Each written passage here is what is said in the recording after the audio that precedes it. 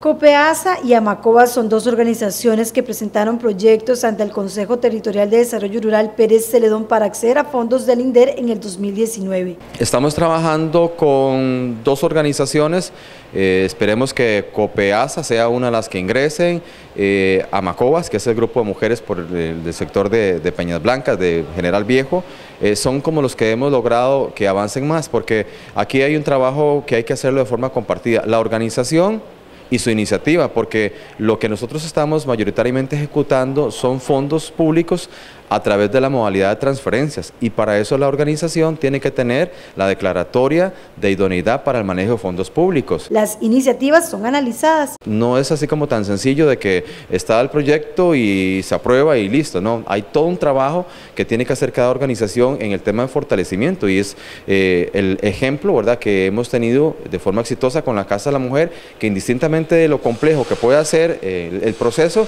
ellos han salido de forma exitosa y es parte de la de las experiencias positivas que ya vamos generando en el territorio de Pérez Celedón. En el caso de Copeasa, ¿qué pretenden? En el caso de Copeasa, Copeasa eh, ellos están manejando lo que es eh, la producción orgánica y quieren potenciar lo que ya han venido haciendo, mejorando todo el proceso, ¿verdad? Tanto de laboratorio, cultivos y, el, y la transformación. Realmente ellos necesitan es una planta para la transformación de producto y que puedan mejorar lo que son las ventas a nivel internacional.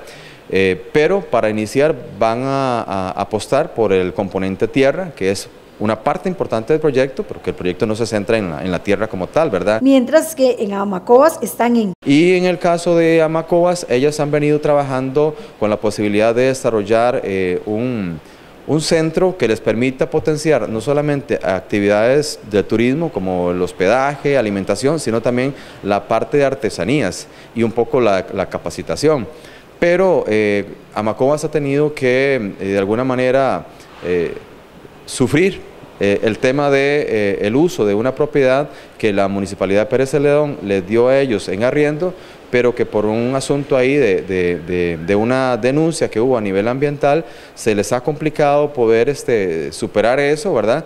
Eh, y por lo tanto los días van pasando y, están considerando que el proyecto también pueda tener componente tierra que sea dotado a través del INDER para poder desarrollar las demás actividades que, que pretenden hacer. Los proyectos son analizados y posteriormente se decide si se aprueba o no para el 2020.